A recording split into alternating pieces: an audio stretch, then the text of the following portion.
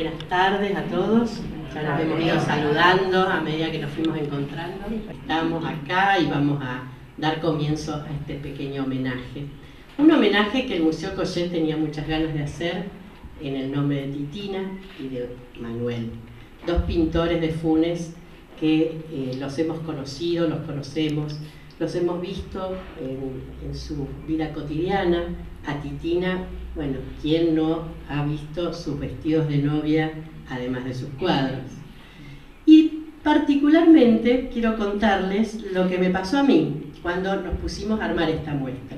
Los fui a visitar, a Titina a su casa, a Manuel a su casa, a Manuel lo encontré en la esquina, parado, mirando. Sí, yo en realidad tenía que ir a verlo a él más tarde, habíamos acordado un horario y estaba yendo al arco iris. Dos horas antes más o menos. Lo encuentro ahí y digo, bueno, ya que estoy, lo veo. Así nos encontramos. Pasé a su casa, vimos sus obras, fuimos eligiendo qué cuadros traer. Algunos los elegí yo, otros los eligió él. Con Titina me pasó lo mismo, no me dejaron elegir solo a mí. Los dos eligieron algunas cosas que querían que esté. Manuel quería que esté su nieta, la acuarela de su nieto, ahí está. Yo elegí algunos árboles que me gustaron a mí.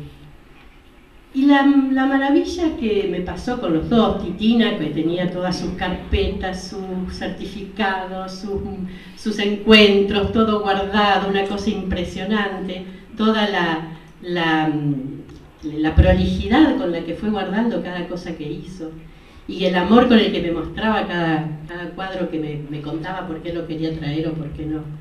Por eso surgió este nombre, realmente, el de Pintando la Vida.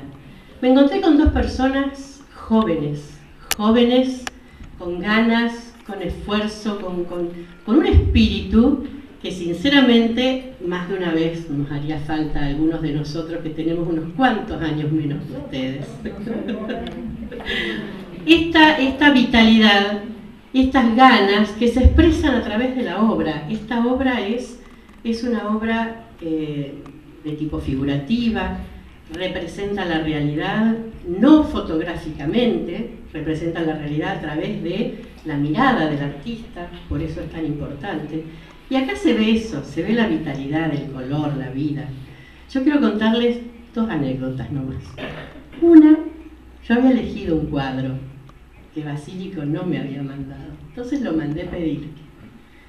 Ayer a la mañana me cruzo a hacer un mandadito acá enfrente y me veo que viene Basílico con el cuadro a la espalda, caminando, y yo no lo fui a buscar porque no tenía auto. No lo fui a buscar porque no tenía el auto, realmente. Y él vino caminando. Basílico, puedo decir su edad, o, está, o es coqueto. ¿Puedo decir su edad o es muy coqueto? Es que ahí está. Ahí está. 90 años y se viene con el cuadro al hombro y me trae este. Este cuadro lo trajo caminando. Pero ¿sabes por qué traje el cuadro al hombro? No te lo dije. ¿Por qué? Porque los remiseros que han puesto de, mi casa no me cobran.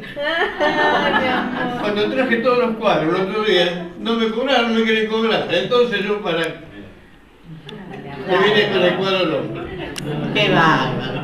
Bueno, y Titina, que muy, muy, muy orgullosa me contó algo que yo puse en el catálogo, que un cuadro de ella está en Italia y que ella quería que eso estuviese en el catálogo, así que ahí está. Bueno, ahora le voy a dar la palabra a ellos, a los homenajeados. Vamos a empezar por Titina. Gracias a todos. Bueno, una emoción es muchas palabras. Y estoy Me encanta que esté contenta. Yo quiero decir algo más. Titina era muy amiga de mi papá. Y me encanta que esté acá. Porque también ha estado en otras épocas en esta casa.